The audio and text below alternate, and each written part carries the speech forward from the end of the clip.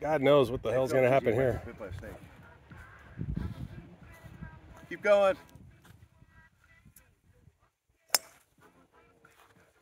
That's a good ball.